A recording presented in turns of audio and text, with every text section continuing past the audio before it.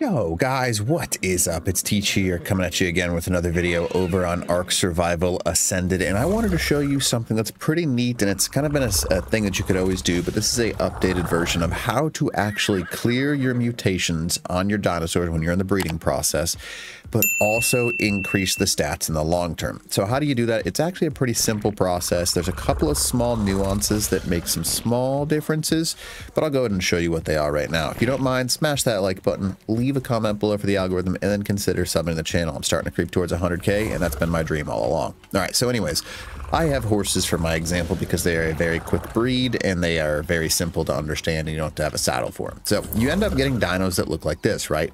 This one currently has mutations on it. That's where you get those fancy colors and you get all the cool looking stats and the increased stats from level one, right? So I started off with level one horses in order to start this process. You can see right here, right? Level one. Now in the long run, as you start breeding an Ark, you get higher and higher levels because one uh, two level increase is one mutation in an individual stat. So that ends up with a creature that looks like this. You can see it right here. That's an Equus. So in order to see that, which you can actually do after you beat the Overseer, you can unlock binoculars and those U plus binoculars or tech binoculars you can hover them over a creature and it'll tell you how many statistics and mutation that it has. You can see this one has its mutations in weight, uh, stamina, and then oxygen as well. And this one's a little bit different. You can see that. And they over time, your creatures are going to get more and more mutated, which is awesome, right? Because increased stats means that mutations work. However, there is a point when you go into your show ancestors that you will no longer get any mutations at all. You can see out of 20, right? Out of 20. These numbers can go higher than 20, but as soon as you go higher than 20, you can no longer get new stat mutations. That means that your dinosaurs are going to be stuck. Your creatures can no longer get better stats from breeding process.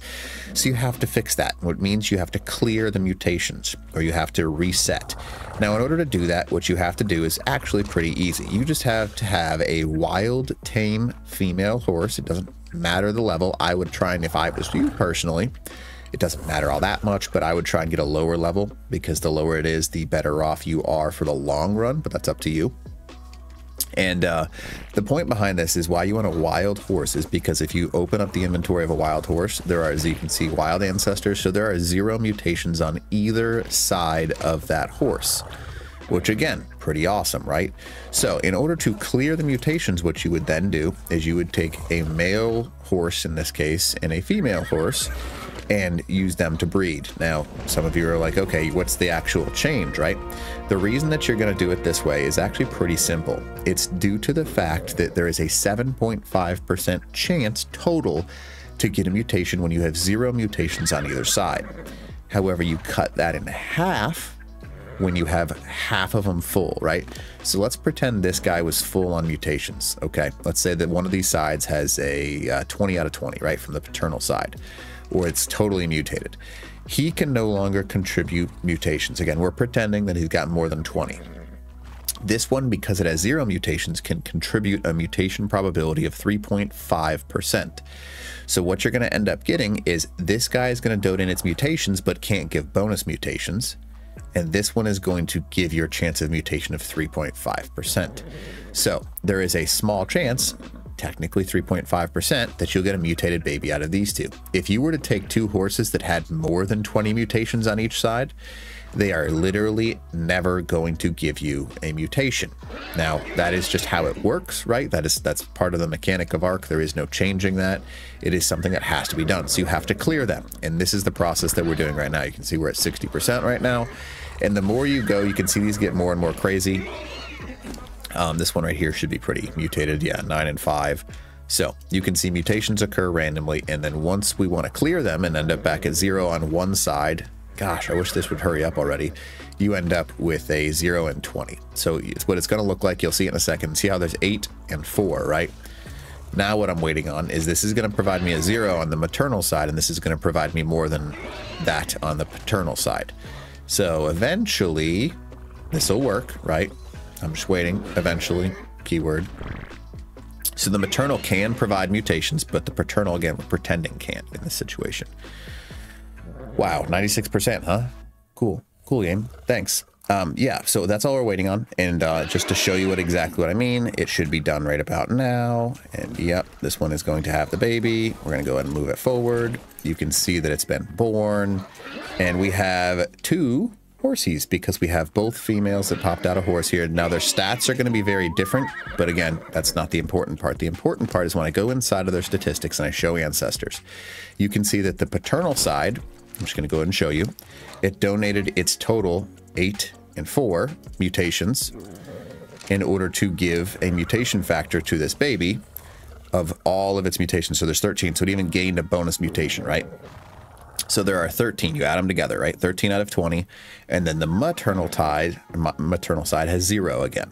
So we have literally reset the entire lineage of these creatures by putting them on the maternal side. You can see again 13 right here and zero on the maternal side. So now this creature has a 50% chance and can give mutations.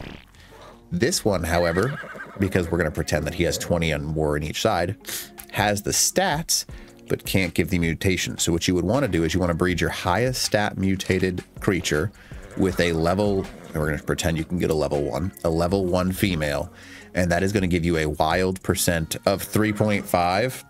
And that 3.5% chance is going to be what you use in order to clear the mutations. Now, I know that's probably very confusing and it's hard to follow along, so I'm going to go ahead and kind of do like a simplified, quick version real quick for those of you like, what are you even talking about, Teach? So, if you start with two horses at level one, over time there is a 7.5% chance to get a mutation. 3.5% from the mother, 3.5% from the father.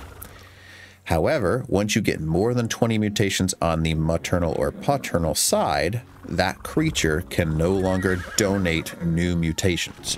So in order to continue to make your dinosaurs or creatures, whatever you want to call them, better overall, you have to introduce a wild tamed or one, it doesn't matter if it's wild necessarily, one with zero mutations on either side. So this one, see how it got 13 from the father? I would have to pick up one that has zero mutations on either side. Now, because it is a wild, we know for sure it has zero mutations. And then it enables again when the breeding process starts that instead of having the 7% chance because we're out of mutations on the father, because once you have more than 20, nothing you can do, we have a 3.5% chance from the mother side. So that is how you clear mutations, right? Clearing mutations, and then you get back to the probability of actually getting mutations again. Because as soon as you get more than 20, literally can't get more mutations donated. So that is how to clear mutations. It again, the sad thing is it's only a 3.5% chance, and that kind of sucks. Uh, but it is what it is. Now, one quick little fact for you if you didn't know this there is a certain point in time where you will gain enough mutations that are donated in order to hit negative one. Now, that number is insanely high and probably years away for a lot of people that are breeding on official servers, but you can technically hit negative one because the game can no longer count that high. So that's a really cheap little thing. It's negative one out of 20. And it's a pretty useful technique, but that's a long ways away. So hope for this video makes sense to you. Hopefully I kind of tried to explain a very complicated uh, concept and uh, you can understand why it's important to have wild females to breed with mutated horses or any creature in that matter. And hopefully it helps you out. All right, teach. Ow.